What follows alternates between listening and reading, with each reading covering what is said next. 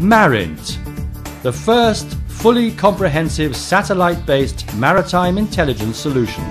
Windward's revolutionary system provides you with total maritime domain awareness, fusing data from Earth observation satellites, maritime and terrestrial monitoring systems, and open source intelligence, Marint is able to transform data to knowledge, deduce insight to identify trends, detect anomalies at sea, and take action.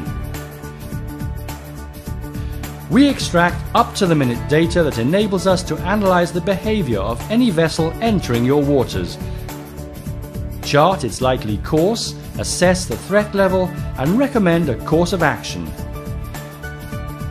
Here is an example of how we did it in the South China Sea.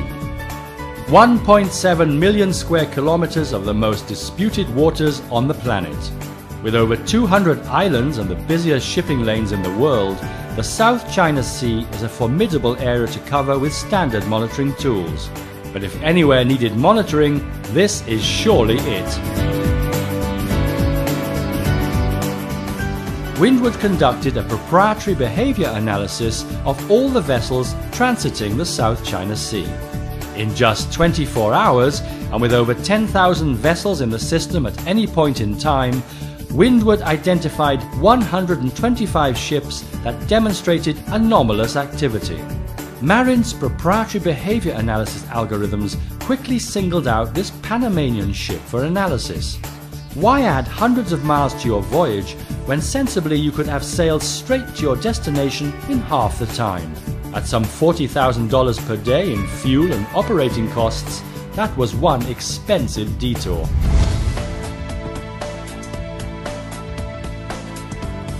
Marint's ability to sift and analyze data from a wide range of fragmented data sources led to the discovery of this ship. Why was a passenger ship lingering in a restricted military zone for five consecutive days? Unless, of course, it wasn't a passenger ship at all. Further analysis revealed the very same ship had been spotted off the coast of Italy only the day before. Either it was very fast or had something to hide. Marint routinely compares a vessel's AIS signal with incoming SAR data. Generally, it finds a full connection between all AIS transmissions and radar contacts. Zooming into this ship, however, told a different story. The measured size differed from the reported size by 50%. A simple reporting error?